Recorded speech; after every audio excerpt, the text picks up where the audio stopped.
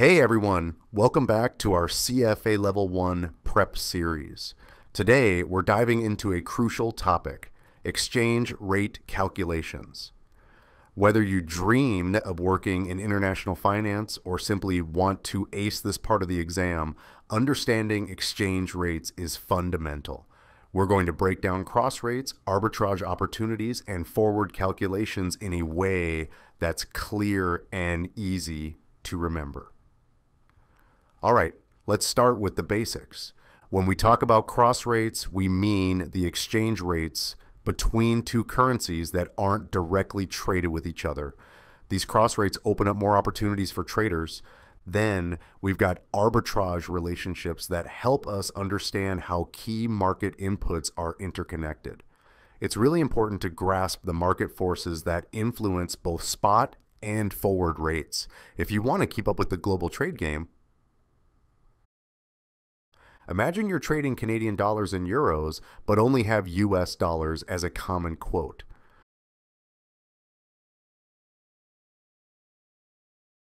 Here's how you can determine the cross rate. Suppose the exchange rate for CAD per USD is 1.0460 and for USD per UR it's 1.2880. To find CAD over Euro, you multiply the two rates. The answer is 1.3472 Canadian dollar per euro. Simple, right? Now let's switch it up. If CAD per USD is 1.0460 and JPY per USD is 85.50, how do we find Japanese yen per Canadian dollar? First, invert the CAD per USD rate to get USD per CAD. Then multiply by the JPY per USD rate. The answer is 81.74 JPY per CAD. This way you can convert between any currencies using their common quotes.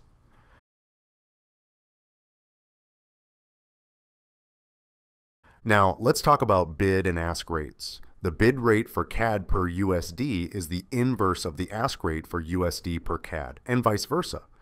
This is crucial when considering triangular arbitrage, where discrepancies in these rates can lead to riskless profit opportunities. Triangular arbitrage comes into play here.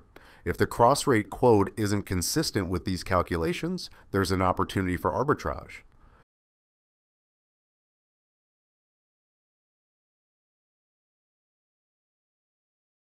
For example, if a dealer quotes Japanese yen per CAD at 82, you could buy Canadian dollar at 81.74 Japanese yen, sell it at 82, and make a riskless profit of 0.26 Japanese yen per one Canadian dollar. This is called triangular arbitrage because it involves three currencies. Now, let's talk about forward exchange rates, which are usually quoted in points or pips. The points are the difference between the forward rate and the spot rate. These points are adjusted to match the last decimal place of the spot quote.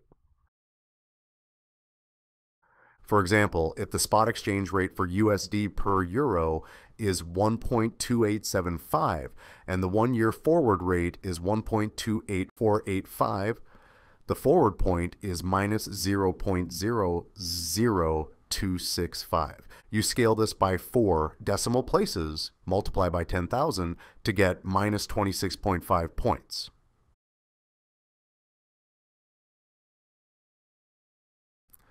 Swap points are the forward points quoted for each maturity. The longer the maturity or the wider the interest rate differential, the greater the forward points. To convert these points into a forward rate quote, Use this formula. Forward rate is equal to spot exchange rate plus forward points divided by 10,000. If you need to calculate the forward premium or discount as a percentage, this is the formula. Let's look at an example.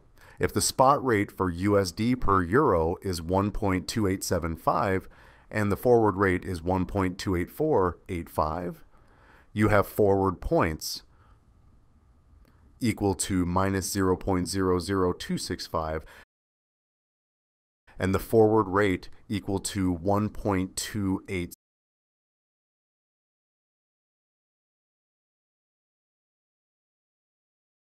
When we talk about the relationship between spot rates, forward rates, and interest rates, there are two main alternatives for an investor.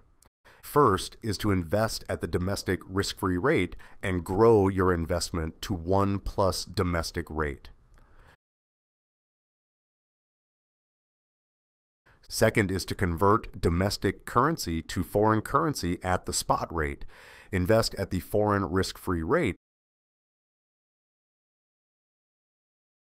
and then convert back using the forward rate, eliminating FX risk.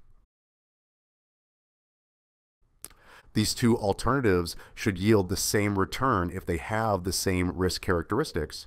Otherwise, arbitrage opportunities arise.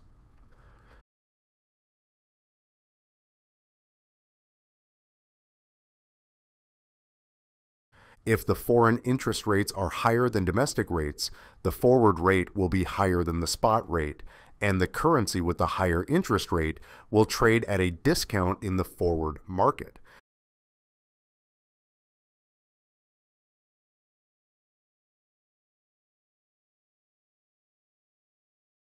For example, with a spot rate of 1.6535, a domestic 12 month risk free rate of 3.5%, and a foreign 12 month risk free rate of 5%, the 12 month forward rate would be 1.6775.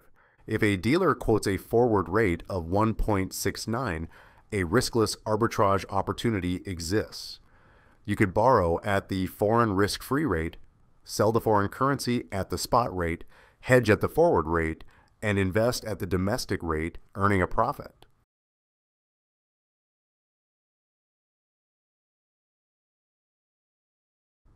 Forward rates are unbiased predictors of future spot rates, but can be poor predictors because the relationship is counterintuitive.